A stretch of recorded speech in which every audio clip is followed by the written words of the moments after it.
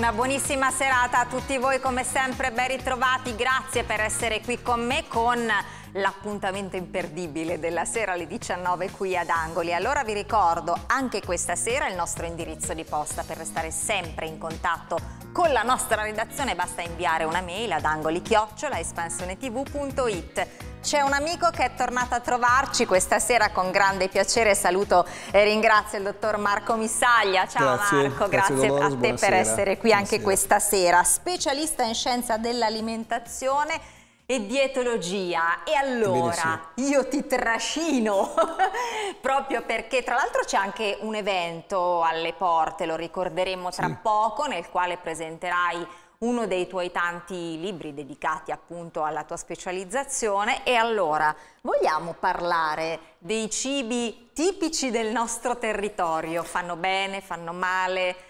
Che cosa, cosa vuoi dire a tal proposito? Non è un territorio che per vocazione nasce proprio con una grande prodigalità di alimenti, nel senso che non ci sono le specialità tipiche appunto che sono... Che magari in altre parti d'Italia sono Come magari possiamo spiccate. trovare in altre zone dell'Italia. Certo. Però ci sono, è anche vero che ci sono comunque degli elementi che proprio contraddistinguono proprio un po' il contesto. Se parliamo per esempio di missoltini, se parliamo per esempio della polenta, se parliamo per esempio anche dei, dei ravioli, dagli scapinache ad altro, chiaramente riusciamo a trovare un link identitario proprio con le nostre zone, con la zona dei laghe, come del resto io sono un laghe essendo di Mandello dell'Ario, ma come anche, Beh, che appunto, anche tu in in fondo certo non sei tanto senso. lontano dalla No, zona del Lecchese e come anche appunto chi ci segue dalla Brianza. Però c'è da dire, Marco, correggimi tu, Sì. che i nostri piatti un po' della tradizione non sono proprio leggerissimi, cioè se parliamo di appunto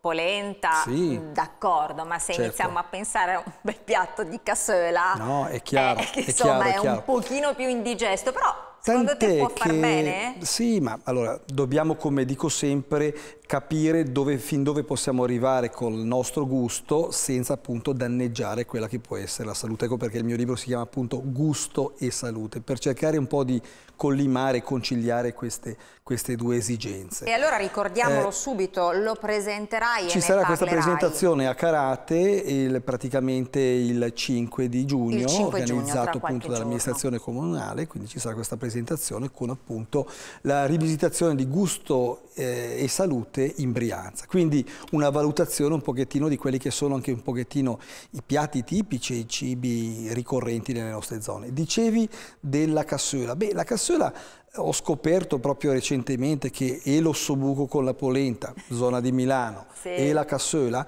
in alcune parti della nostra Brianza vengono per tradizione fatte precedere da che cosa? Dalla grappa. Eh, questo Per cui è vero. un'abitudine. Allora non è così, una- no, no, no, mm, è una leggenda, È un'abitudine, un'abitudine che io come medico dietologo non è che propugno, però è un'abitudine che leggo e che vedo fra l'altro una cosa tipica anche della zona dell'Ungheria. Io sono stato qualche tempo fa a Keschemet, dove appunto è un po' la tradizione delle, delle grappe ungheresi, anche lì prima di farti magari assaporare le loro specialità, tendono sempre a darti una grappa come antipasto. Ma questo perché? Irrazionale perché? Eh. Perché produce sicuramente uno stimolo, un po' un aperitivo ahimè, Un po' forte. un po' forte Sì. per favorire la secrezione gastrica acida del nostro stomaco. Quindi avrebbe un senso nel facilitare la digestione di cose anche abbastanza complicate, abbastanza laboriose dal punto di vista digestivo, aumentando, incrementando quella che è appunto la, la risposta del nostro- dell'acido del nostro stomaco, quindi Però, agevolando fatto, quella che è la, ecco, la cosa. Mettici la grappa, mettici il piatto di cassola, io direi che sì, una volta in una stagione. Semeli in anno, e può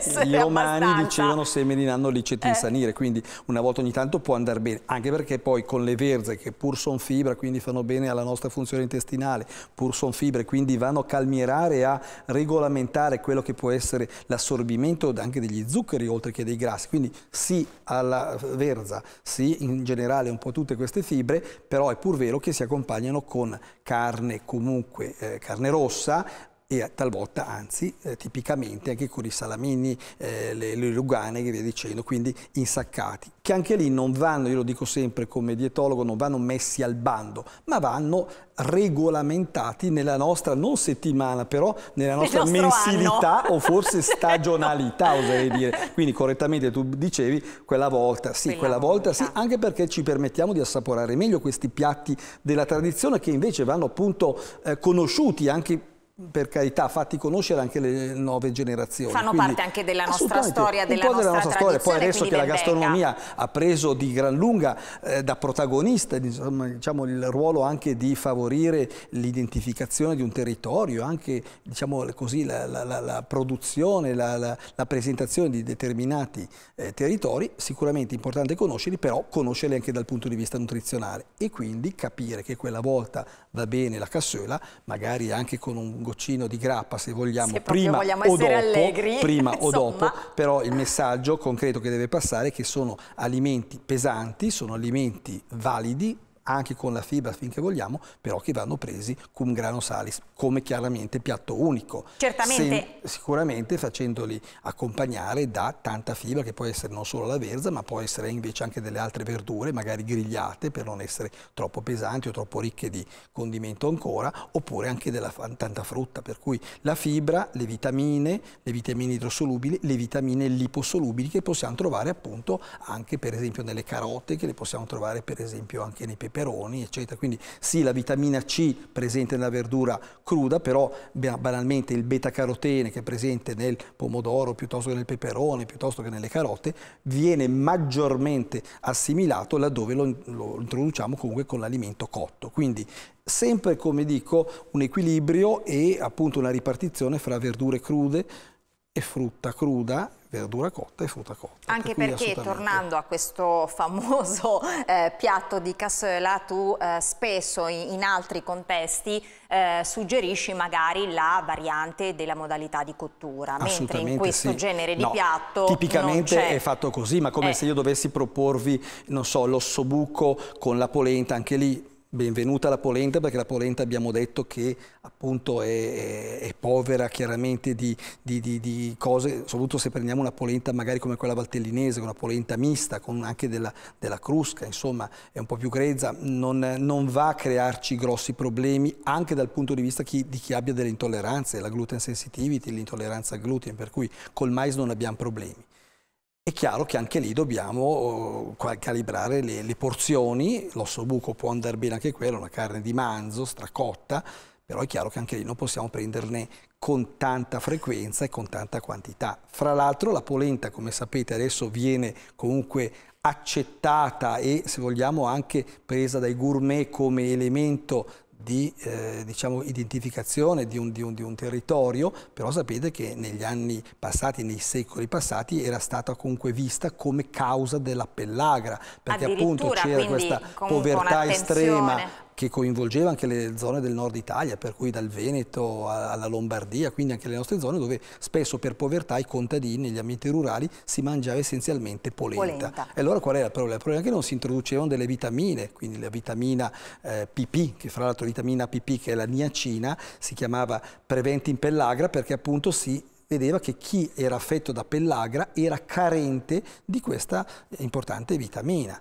E perché questo avveniva? Avveniva perché chiaramente si mangiava questo mais che non era fatto come invece si pensava, eh, diciamo fatto oggetto da, di infestazioni, da infezioni, contaminazioni strane, era solo che eh, a differenza per esempio del Messico dove non andavano incontro alla pellagra, chi invece mangiava tipicamente, i nativi messicani mangiavano tipicamente il, il, mais, ma perché veniva messo in acqua di calce, perché c'era quindi la possibilità di liberare queste vitamine, che invece non era possibile liberare nel mangiare solamente la polenta, essenzialmente solo quello. Ed allora c'era questa patologia grave davvero, perché aveva mietuto più di 100.000 morti nel, nel, anche nel secolo, nel 1800, che era contraddistinta dalle 3D, che era dermatite, diarrea e demenza. Quindi queste 3D che identificavano un quadro patologico anche grave, che portava a manifestazioni anche di ritardo mentale, di, di, di atassia, di, di, appunto,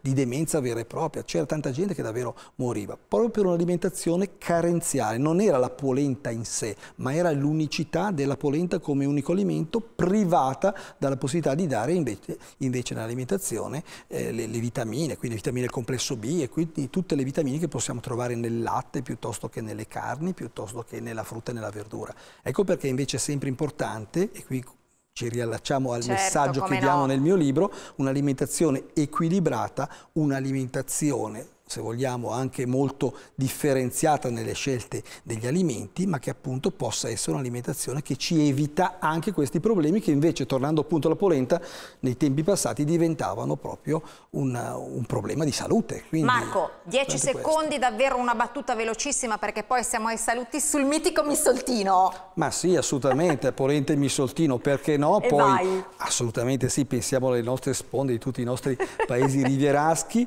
Attenzione a non esagerare con gli agoni appunto eh, secchi che magari eh, contengono che più tiramina, che sono molto salati, per cui se uno ha l'ipertensione arteriosa, le cardiopatie o delle nefropatie non può prenderne una quantità esagerata, come dico sempre, est modus in rebus, quindi la quantità giusta. Il connubio missoltino e polenta, guarda ancora una volta eh, ne parliamo, va bene, va bene perché comunque la polenta alla fine è una fonte di carboidrati complessi, non sono zuccheri semplici, per cui va bene, non abbiamo nemmeno il glutine, oltretutto insieme alle proteine del missoltino. Se poi ci mettiamo sopra come condimento l'olio, io anche recentemente ho parlato a Milano Tutto Food dell'olio di oliva italiano, però ovviamente essendo un laghè ho speso due parole e gli amici pugliesi, ecco, gli amici pugliesi un eh, pochettino certo. hanno detto sì, ma il nostro, no, ma il nostro, eh vabbè, direi che il nostro del lago di Como tutti. assolutamente no. è da valutare. Bassissima acidità e direi una produzione quasi eroica perché tirar fuori l'olio di oliva dalle, no, dai terrazzamenti che vanno certo. a costellare il lago di Como non è cosa facile. Marco quindi... e quindi con questo ci salutiamo, io saluto e ringrazio Marco Missaglia per essere Grazie. stato qui e per averci autorizzato come sempre a mangiare poco certo. e tutto. Altrimenti noi dietologi non esisteremmo. Infatti grazie, grazie anche a voi, rimanete lì tra pochissimo, un altro argomento, altri ospiti sempre ad angoli.